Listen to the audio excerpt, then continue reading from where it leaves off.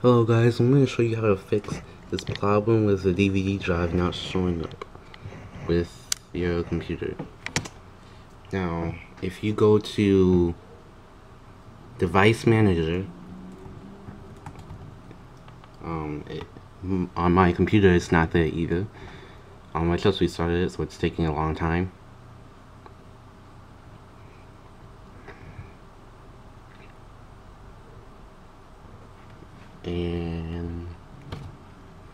Show you it's not working.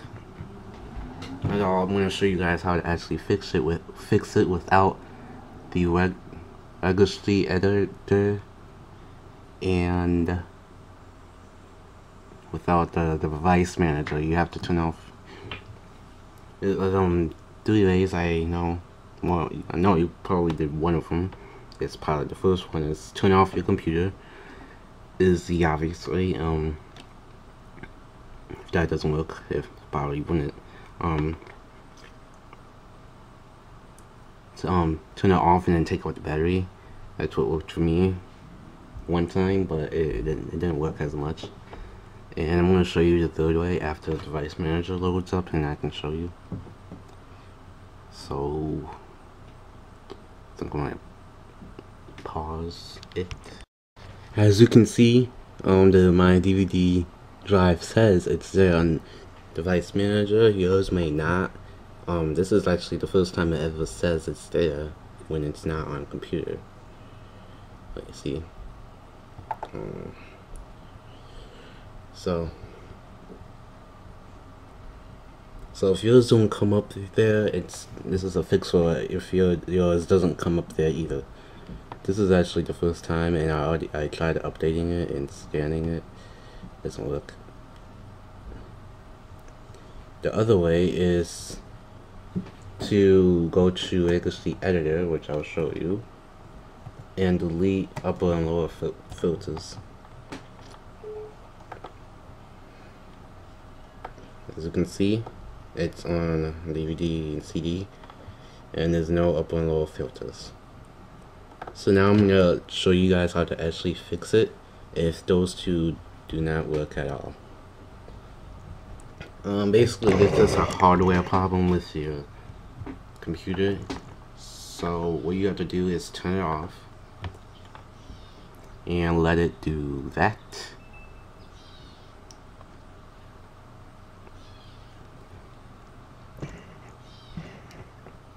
and make sure you eject your DVD drive while it's loading and take out any CD that you have There you know um, once this is injected unplug any cords and make sure you have one of those um, um small screwdrivers um I guess any size will really do just make sure it's small enough or big enough and on the back of this, you should see your, um, you should see like a, a metal plate. It's actually magnetic with mine. So, and you should see four or five screws depending on how many, what your kind is. Mine has four. One, two, three, four. So un unscrew all of those and I'm going to come back when I do. And here are the four screws that I just took out. And once you took all of them out that you see, it should be able to come off easily like this. Is a back metal cover basically for the um, DVD drive. And you should see all the contents inside now. So once you're at this part, or you see some, something similar to this, all you really need is this, basically, that's it. Um, then this one is basically for the light and the eject button, so you don't really need that one as much, but you can do that one as well. What you need to do is find the side of this right plug in and find the side that has the black. Not this side. This one has black because that's the ribbon.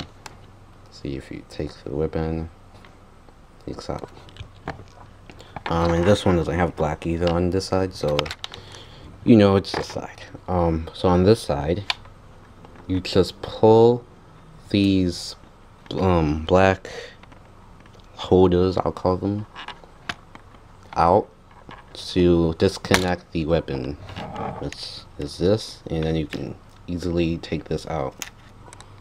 For this one, you really don't need to, but I like to do it just in case there's something wrong and I if for this one it is taped so I'm not going to um, plug um, take it out. I really don't need to because there's nothing wrong with that.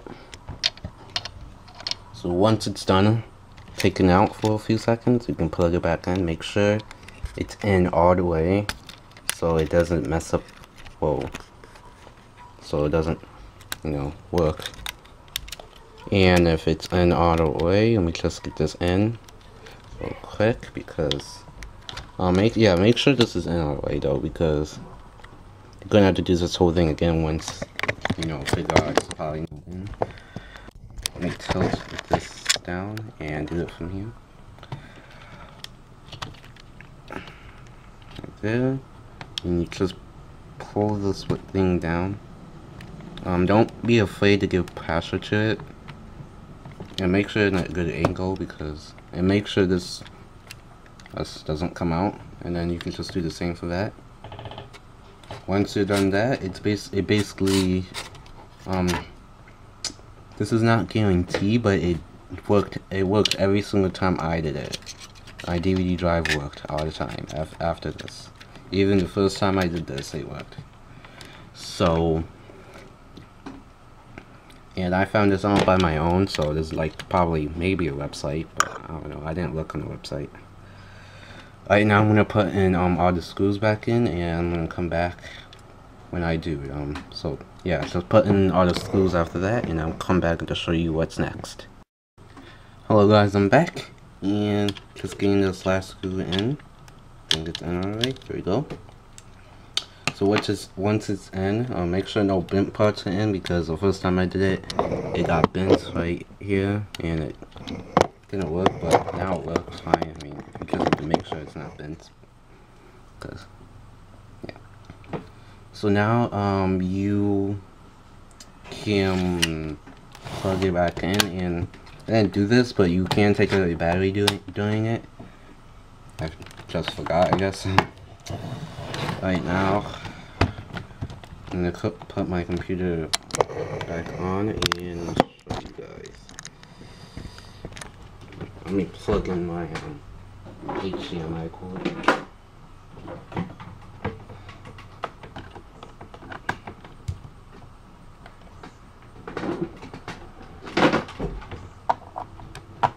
Now pretty much if you did everything I just did, you can end it right now.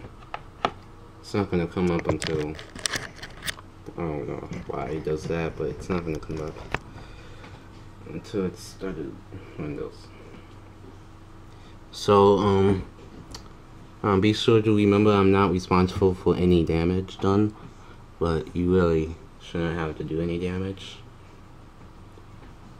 Um, the life you can take this to a professional, but here you go, you can see me. and welcome. Thank you.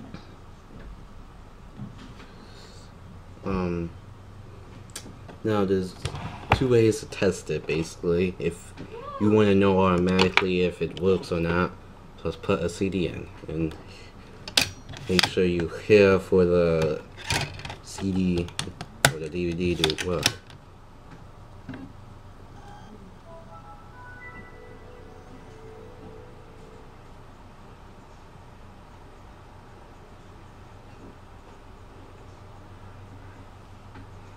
Um, if it may or may not need to update driver software I think I need to. I'm not sure anymore. Uh, let's I don't know it's still loading. Let's come back on here and let's see if it works. Um okay so let's um the and the other way is basically just go on your computer and see if the DVD you know icon is there. Um you may need to restart it too again. You may. So if it doesn't work the first time don't do it all over again. Just restart it because I did have a few problems but I need I need I just needed to restart it. And it came back on. So let's let's go to the computer way and you see it's not there still? I don't know if I need to update it though so. Bear with me.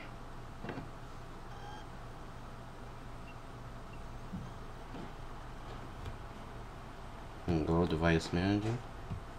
If it does not work I'm going to restart it I'm going to pause the video so it doesn't take forever. Yeah a long time and waste my memory.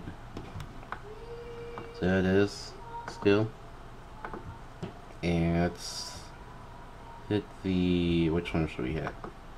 Should we update it? Let's see if we can find an update just in case.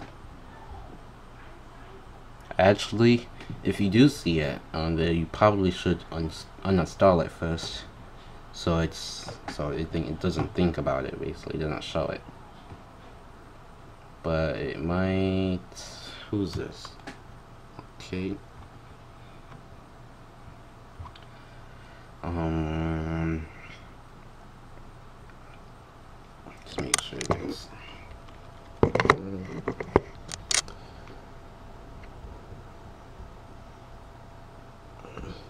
the last time I did this it said it's found so I don't think I need to do this. Um oh wait I don't need to search. Oh my gosh it's frozen now. So if you do see DVD drive on the device manager but not on the computer in your Windows Explorer.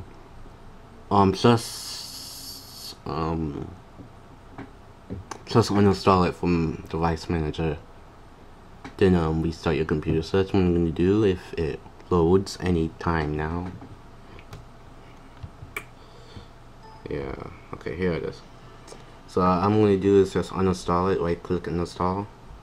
Okay um, you can easily reinstall it by clicking the stand for hardware changes changes from right here. It's gonna basically look for it. And there we go it says right down there somewhere it's installing and they just did it.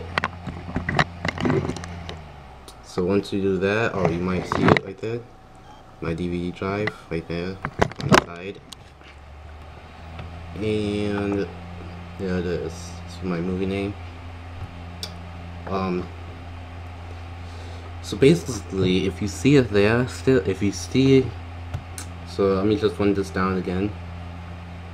In computer if you still don't see it after um, doing the plugs and stuff inside the DVD drive if you still don't see it then go to device manager which I'll show you again by just typing it in or something and if you see DVD drive right here then uninstall it if you don't it should actually be on your computer right now if it, if but if you don't see DVD drive over here and it's not on your computer, just restart it and see if it it's there now. If it doesn't work for that, um, you might be a problem with your ribbon and connecting it, but I don't know. I mean, try it again if you you want. Um, but you might have heard my um, actual DVD drive. Um, actually, you might have heard it, so I am going to show you the light and everything else coming on down here. So, hold on, let me just make sure you guys can see that, because I can't see what you're looking at, and, and here you go, you can, and now I'm going to be quiet so you guys can hear the drive.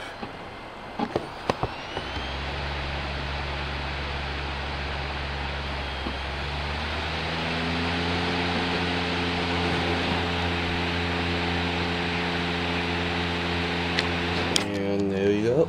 You see it coming up